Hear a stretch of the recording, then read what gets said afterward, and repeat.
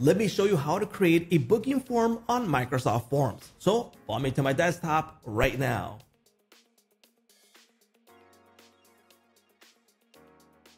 Welcome to JotForm. My name is George, and on this video, we are located in Microsoft Forms because I'm going to show you how to build a booking form.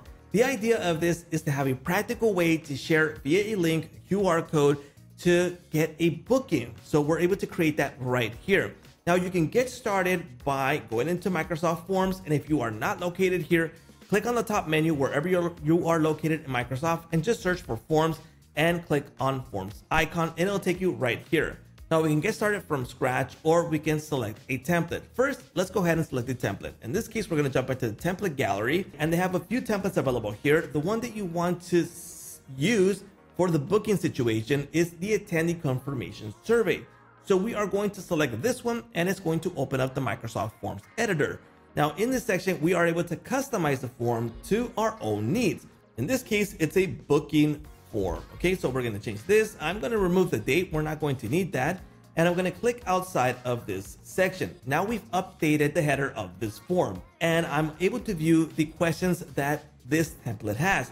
I can keep these questions or I can modify them as needed. So in this case, I'm going with the template and I can just go ahead and modify the rest of the questions. Now you can see here, for example, which day can you attend? And I have this option available here. I can make this a required option. In this case, it's a booking form. We want to make this required if they are going to book. So they are not able to fill out the rest of the questions if they don't fill out this one. They won't be able to submit it. Now I can change the subtitle and I can add branching to this.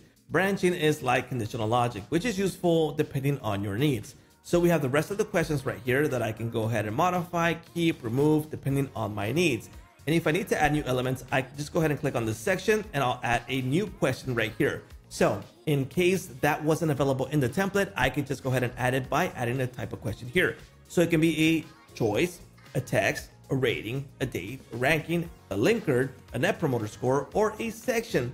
So let's just say that I want to add a rating right here for the booking question. And it's just an idea. So I'm going to keep it just like it is. And I have a five star rating and I'm going to change it to a 10 star rating. You have the option to change the rating right here. So a few available options for the rating. Okay, now if I want to change the style of this booking form, I can do so by clicking on the style option right here. Now this is the current layout and I can change this to different layout depending on what I like the most. And I'm going to keep this one right here. And I can change, for example, from the suggested ones available here.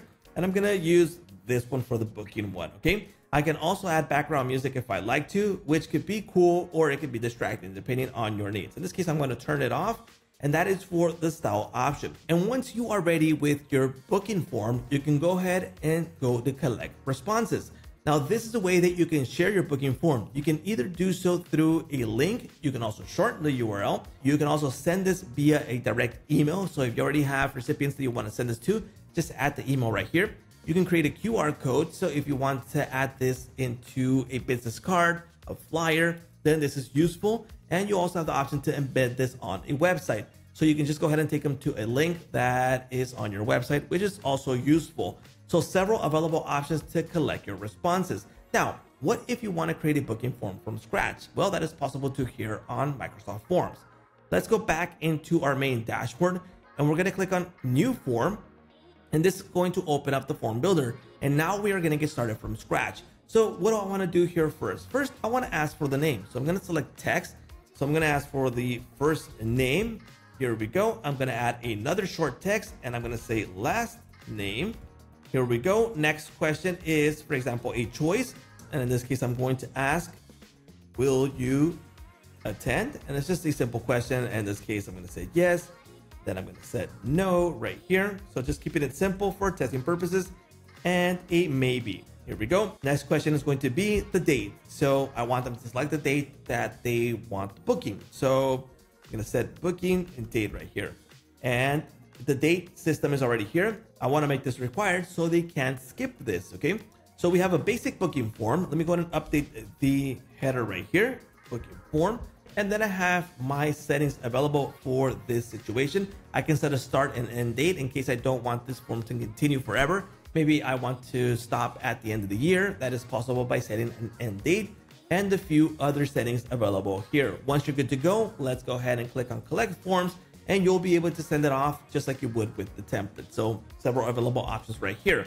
Now, if you don't want to be limited with the amount of questions and you want to actually have a dedicated booking form with booking features, there's the option to use JotForm. So you can get started right here really easily by using a template. So I'm to go ahead and go to create. I'm to select the form and I'm going to go into templates. In this case, I am going to go into the booking form category. Currently, there's 568 templates available as of this video for your booking needs. So I'm going to select this one right here. So I'm going to use the template and that's going to open up the JotForm editor. Now in this case, I can go ahead and edit any of the elements here on the template. I can go ahead and select it, click on the gear icons, and I can decide if I want to keep an element, if I want to modify it. In this case, if we are in the name template, I have several available options here to, for example, add the middle name to, the prefix, and the suffix. So just an idea that everything is customizable in the template. Now this has a booking range. So what dates are you planning to get the tattoo done? In this case, it's a tattoo booking form, but there's an element that I can use for an appointment option. So I'm going to remove these right here. I don't want to give it a broad option here. I want to set the booking features available here. So I'm going to add the appointment option here. And then I'm going to click on the properties option here. So I have the option to sync with my calendar. So I have option to sync with Google Calendar, Outlook, or Calendly. I have appointment slot duration that I can set here. I, I can select one of the available slots, or I can use a custom minute duration here. In this case, 60 minutes is fine. The intervals, so when I am available, so it's the weekdays from 9 a.m. to 5 p.m. And I can set intervals here. I can set a lunchtime, which is enabled already down here, which is really useful. And I can set a different interval for the weekends which is useful. Then I have the limits here on the top, so I can set a start to end date. I can add rolling days, vacation and holidays where they can't book in those days. So for example, I can add Christmas, New Year, Thanksgiving, etc.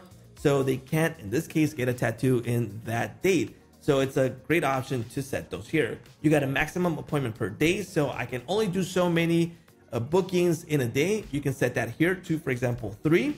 And you can also set a minimum schedule notice right here. So several available options. And then you got your advanced options for one-on-one, -on -one, set groups, send email reminders so they don't forget about the bookings. And there's several available options for the appointment system for your booking form.